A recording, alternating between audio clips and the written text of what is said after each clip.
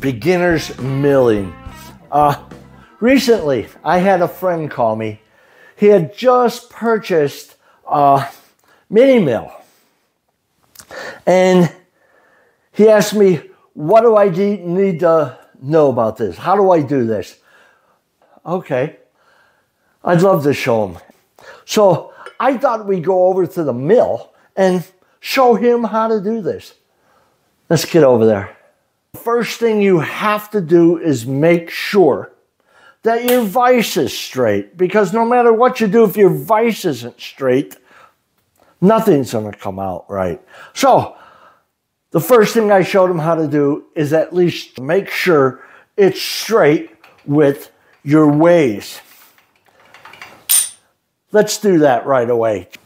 So the first thing we need to do is throw an indicator in here and just indicate this real quick. This is the quickest thing you could do for yourself because if you miss this uh, part, you may have wasted your whole day.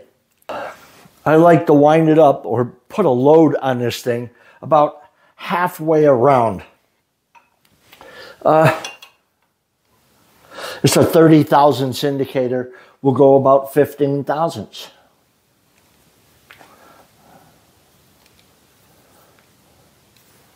Okay, we'll set our zero there.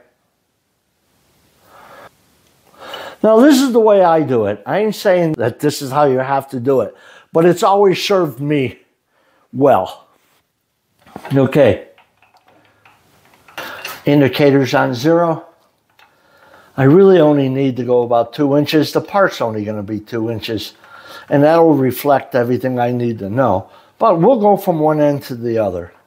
I've seen it move a couple of tenths,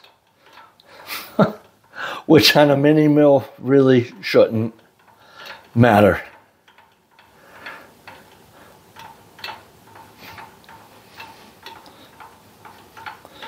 Okay, I think this video is coming to an end, so I'm going to have to say, until next time, enjoy.